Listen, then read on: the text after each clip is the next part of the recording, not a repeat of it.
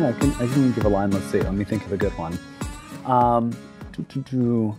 And, and give us your phrase of I gotta think if I can remember any of the lines. It's not this. It was the last shoot where I was in the pub. So Do it. Well, uh, again on the battlefield when I'm when I'm shouting in my in my native Dutch uh, language, uh, "Kick achter ja, Colonel Washington," something like that.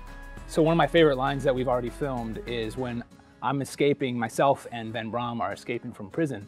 And uh, Van Braam is like, you know, he's all mad and like scared. And he's like, these, we're being chased by French guards. And he's like, if they catch us, they're to kill us. And I'm like, aye, but they have to catch us first. You know, and I love that line because that's the embodiment of Stobo. He's like, yeah, but they haven't caught us yet. You know, he's like, let's go, let's do this, you know? And uh, so I just, I love that line because um, I just think that's who that guy is. You know, that's interesting because I have such a, a deep, heavy East Texas accent, and, and this this character has a British accent, and that's something I've never done before. And so, uh, having to learn the received pronunciation and, and how to talk in that manner, and it's um, you know they say things like that, and we have been in rain all night. Our powder may be wet, and Bessie may not be in the mood to pop off this morning. You know, so that you know, doing something like that is a, a stretch for a guy like me. Tu n'es pas encore mort, mon père. After the half king killed Jumonville, um, and he would just, with all the rage, you know, you're not dead yet, and spits on him. You're not dead yet, because the French had did him wrong, and uh, starts scalping him. That even uh, young George Washington was, uh, you know, a little disgusted, a little, a little. I don't want to say frightened by that sight, the bloody sight, and uh, turned away. So uh, that's that's pretty much it. I mean, I yell it throughout the scene, uh, throughout the battle, you know. But there's a, a, a grudge and, and revenge feel of uh, the Half King towards the French and what they did to his tribe and to him.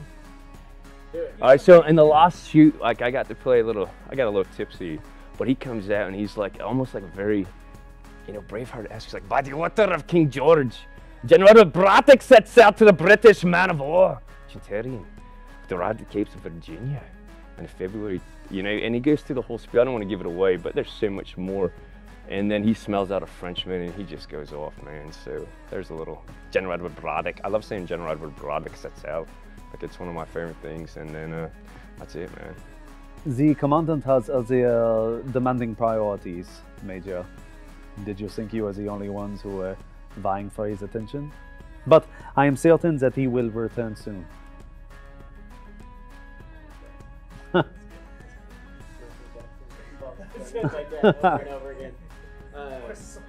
Baguette. in the pilot, which will be in this Washington's journey, the, the first segment of Washington's armor, um, man, walking up to the Allegheny River when it's, you know, half froze and I'm talking to Christopher Gist and he's telling me all the many reasons why this is a terrible idea. Um, and in true George Washington fashion, I get to look at the river and say, you know, he's saying we're not, we don't, we're not going to do this. We can't do this because, we can't do this because, and I essentially say back a bunch of stuff, but then I finish with, so cross we shall, and without delay.